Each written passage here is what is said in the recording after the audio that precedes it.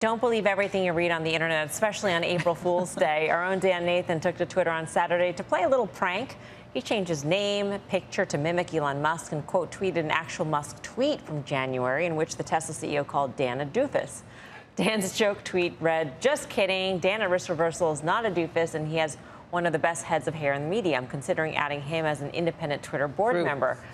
And just like that, Dan's Twitter account was slapped with a permanent suspension for breaking the company's rules. So Dan created a new account, Dan Nathan RR, which I'm sure will be shut down momentarily. and reached out to the social media site support staff saying, I tweeted an April Fool's joke that was not offensive or threatening. Why was my account permanently suspended for trolling Elon Musk, the free speech warrior? Did you hear anything, Dan?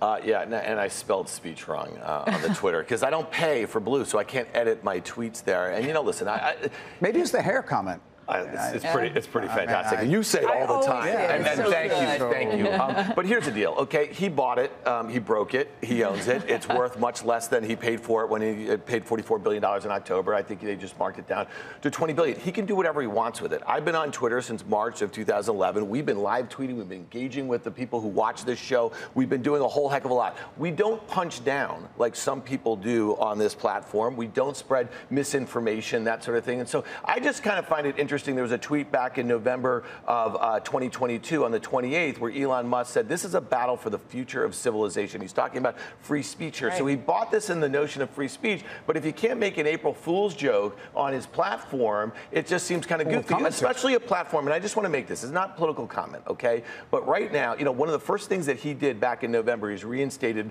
uh, former President Trump. President Trump used this platform to spread misinformation about uh, uh, an election that he lost. He used the platform to incite a deadly attack on our nation's capital. And that gentleman So can get account and you reinstated. Marjorie Taylor Greene was also pushing. She gets reinstated back in November. So it just seems kind of odd to me. Um, and listen, it's his. You can do whatever you want. Have at it, people.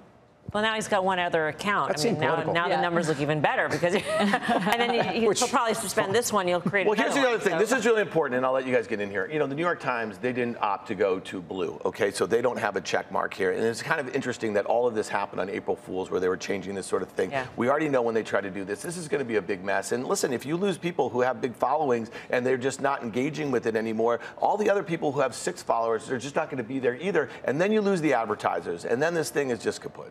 Yeah. What do you think? Well, it's clear that Elon Musk and Dan are not going anywhere hand in hand.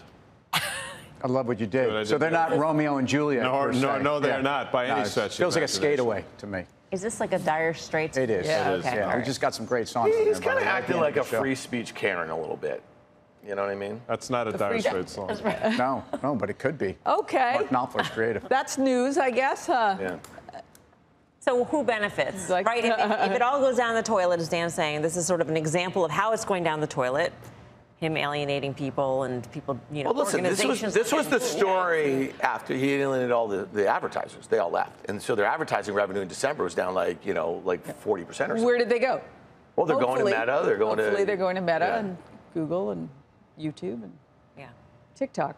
Well, the, the, check mark is something that, that I think gave credibility and, and certainly gave some sense of confidence in what you're getting from certain people and what you're willing to get. So, the, the, look, Twitter as a medium is, I, I think, been wildly valuable, real-time news, especially for certain sectors, um, from the minute I've been on it. And, and it would be a shame if it no longer was a place. And I think we all have a pretty decent barometer on picking through what's garbage and what's not. But if it's getting worse, it's not a good thing for anybody.